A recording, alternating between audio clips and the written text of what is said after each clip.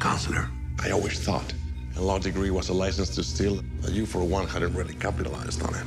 I don't intend to take this up as a trade. A one time deal, right?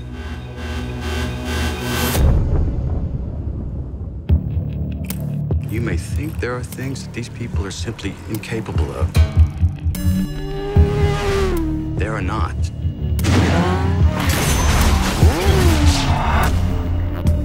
I'll try and remember that. Good. That's a nice ring. Have you set a date? Not yet.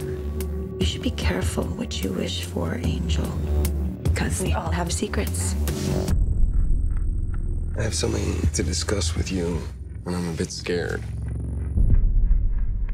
If you pursue this road, you will eventually come to moral decisions that will take you completely by surprise. What do you think I should do? I don't know, Counselor.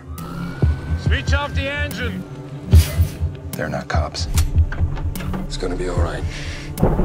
Are you superstitious? How bad is it? Let's say pretty bad. And then multiply it by 10.